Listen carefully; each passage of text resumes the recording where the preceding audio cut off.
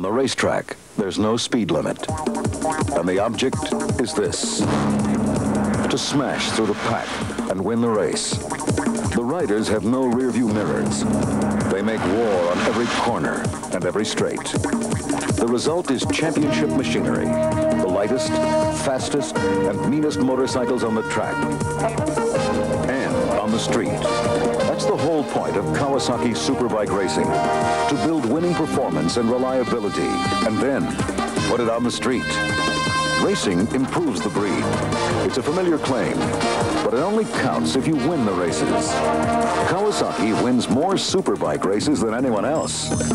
Two championships in a row, and four in the last seven years. Street riders benefit from superbike racing because it's based on production machines you can buy and ride home.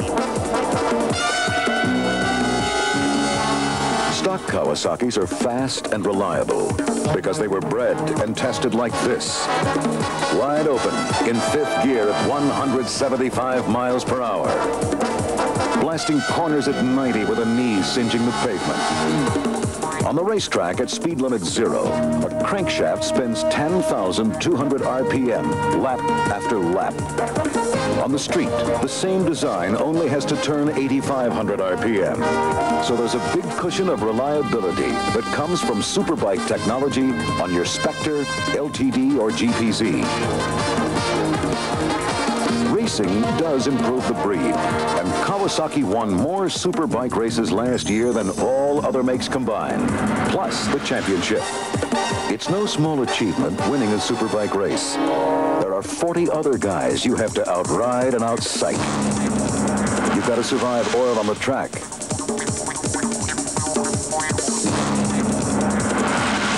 Then there's rain. Every corner becomes a slippery monster.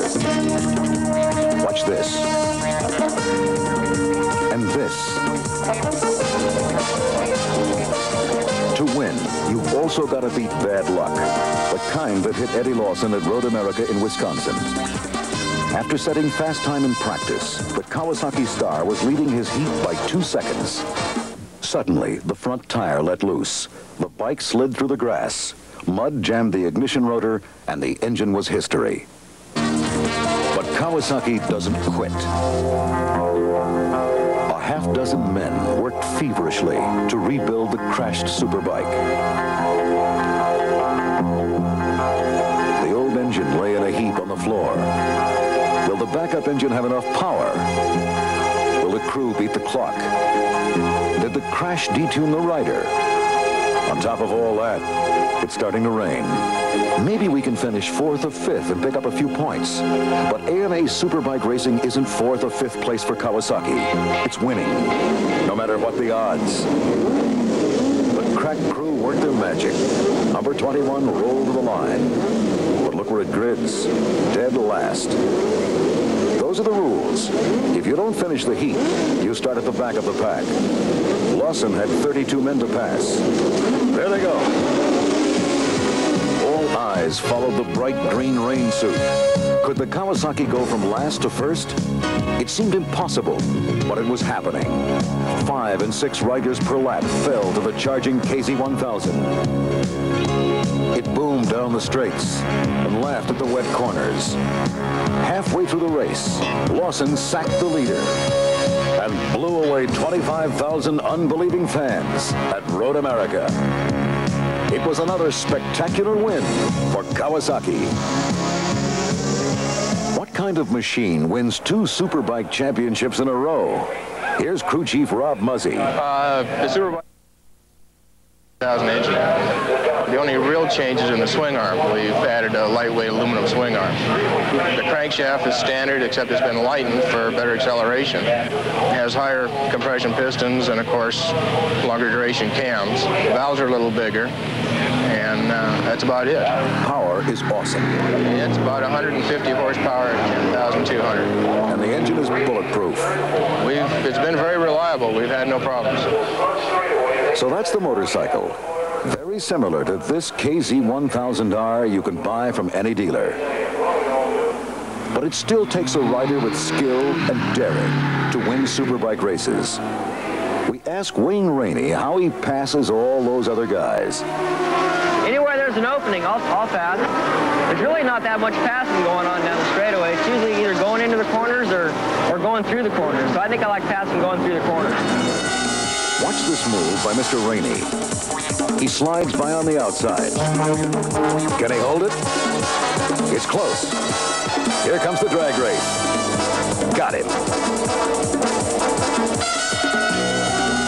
Winning performance from Kawasaki race bikes in 1982 brought us this for the street in 1983.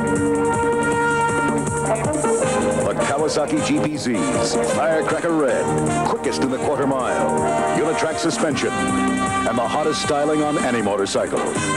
Check the breeding on our new GPZ 750 and 1100. Anti-dive braking, pioneered on the racetrack. Eccentric chain adjuster, pure superbike. Extra swing arm bearing, another race bike trick. Ultra-wide rear tire, three-spoke wheels. Horsepower, the GPZ 1100 is number one, and Cycle Magazine proved it by blasting the drag strip in 10.91 seconds. The first time a stock machine ever cracked the 10s in a quarter mile. Come on, let's take a ride.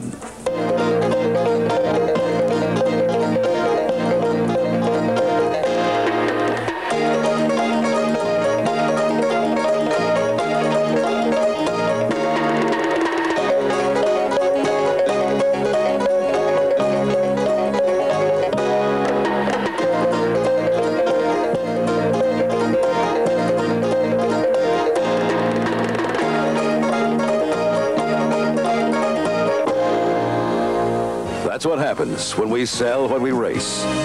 Kawasaki is champion of the street. But what about the Superbike Championship in 1983?